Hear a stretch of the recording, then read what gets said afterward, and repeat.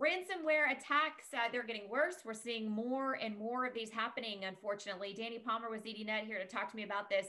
Danny just when people think they've seen the worst uh, when it comes to cyber criminals uh, and taking advantage uh, of, of uh, companies in, in really vulnerable situations unfortunately it's only getting worse. Why is that?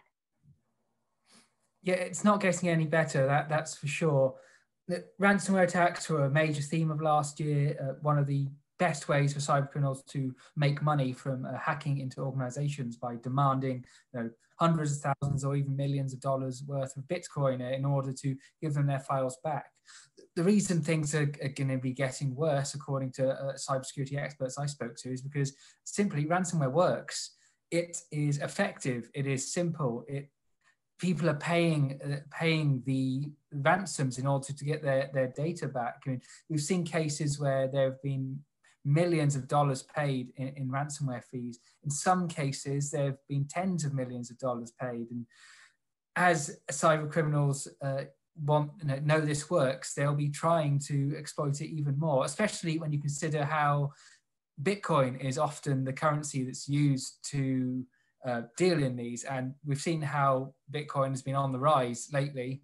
So it's probably going to get worse partially because of that as well, because cyber criminals, they, they love that. They love that cryptocurrency. And if they think they can make even more money from it, it's it's just going to get worse, unfortunately, because in, in many ways, a lot of organizations, despite the, the amount of, we, we've heard about ransomware, um, we've spoken about it many times over the last year lessons are not being learned and there's still vulnerabilities in organizations which are allowing cyber criminals to get into the entire trees of, in, of networks and lock them down and, and extort victims. Yeah, yeah, and unfortunately, Danny, uh, you know, we're hearing too as more companies utilize the cloud, uh, they're just opening themselves up even more. In theory, yes, because or cyber criminals can make a lot of money by ransoming uh, large organizations. Now, we've seen various examples over the year where they've made you know, huge amounts by you know, basically giving these organizations no option but to pay. You know, th- this is one organization at a time.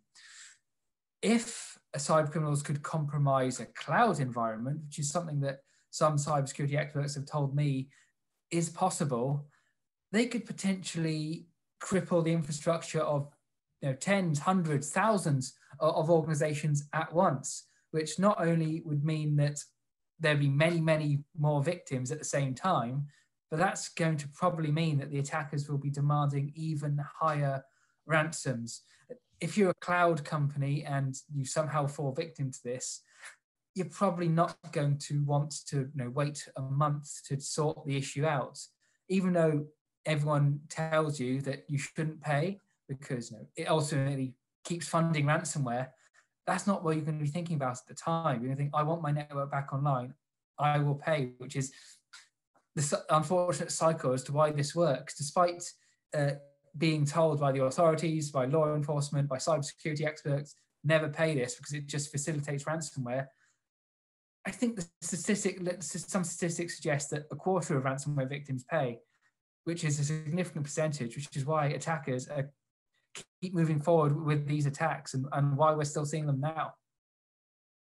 Yeah, they're certainly going to keep doing them uh, if they work, Danny. Well, finally, you know, we talk about this a lot, and as you mentioned, this is a conversation we've had, um, you know, so many times about ransomware and cybersecurity in general, and some of the same things we repeat over and over, but they they bear repeating because uh, there are some things that you know companies need to keep in mind some ways to protect themselves. What is it that the experts are saying that they needed to do? Patching is, is one of the first things you can do to keep your organization safe uh, from a lot of cyber attacks. Uh, one of when WannaCry ransomware happened uh, that was used that was forced along by an, an exploit called EternalBlue which a patch was released for. And one of the reasons that it was so successful back in 2017 was because a lot of organizations still hadn't applied the patch. Even now, there are organizations which uh, have not applied that patch. There are types of malware, uh, types uh, which will attempt to exploit that. Uh, it's a vulnerability that is or was patched almost four years ago now, but there's still a significant chunk of organizations which haven't applied it. And that's just one patch, one critical patch, which you know organizations around the world were told you must apply this patch. There's plenty of other updates out there from you know, Microsoft, from other operating system providers, from software providers, where they've said no, you must apply this vulnerability because it can be you can you must apply this patch because it can be exploited. There's a vulnerability which can be exploited by attackers but organizations still unfortunately haven't. I mean, in some rare instances, there's vulnerabilities which are 20 years old, which still are out there in the wild, and some businesses still haven't patched. It's one of the simplest things that can be done to uh, protect your network from attacks, and it, it bears repeating that it's something organizations should be doing because it can stop a lot of the vulnerabilities and exploits that attackers can use. Another thing which can be done to help protect organizations from ransomware and other attacks is uh, using multi-factor authentication across the network. That means that uh, if an attacker does get into your network, you know, even if they're using legitimate credentials of someone or they've you know, tricked someone through malware, they can't necessarily move around uh, the network by taking over other accounts because you'd need to basically have someone, uh, usually via your mobile phone, uh, say, yes, this is me logging in at this point. Uh, it's, it's it, again, it's another, it's another simple thing, but it's another thing which a lot of organizations uh, don't apply. And even uh, Microsoft themselves have, have, said previously that multi-factor, multi-factor authentication can prevent 99.9% of, of, of all attacks pretty much which, which is a lot. Uh, so it's, it's one of the simplest things you can do to keep your organization uh, safe. And, and, and now, in, and as you know, things keep evolving, it's, it's just good to keep uh, letting your, your employees, your staff know the sort of things that they should be looking out for. Because uh, j- just that, that cybersecurity awareness can go a long way to, to helping uh, keep the whole organization safe because as we've seen in many circumstances, it only takes you know, one one breach by one person uh, to affect an entire company. So just having people kind of know what they sort of things they should be looking out for can really help as well. Yeah, most certainly, and can certainly help avert a real, uh, you know, disaster as we have seen so many times when when companies have been taken advantage of.